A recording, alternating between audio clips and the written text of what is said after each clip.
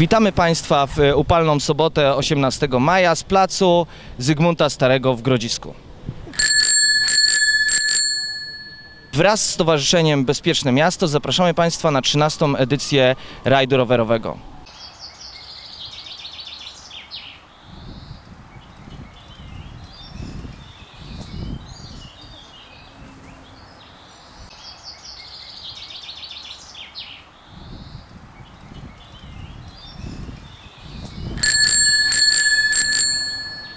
Jolanta Biela, przewodnicząca Stowarzyszenia Bezpieczne Miasto i Gmina.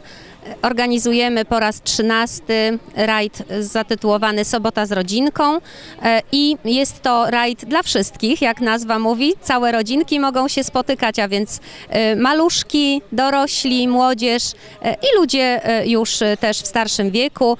Trasa jest przystosowana dla każdego. Jest całość trasy w obie strony około 15 km, więc nie jest tak bardzo męcząca. Jedziemy głównie utwardzonymi drogami. Dojeżdżamy na miejsce pikniku na przepiękne stawy e, i tam wypoczywamy, e, integrujemy się, bawimy. E, Są przygotowane różnego rodzaju zawody, konkurencje takie rekreacyjno-sportowe. Można będzie również popływać na żaglóweczkach, można będzie postrzelać, także na pewno warto z nami spędzać czas.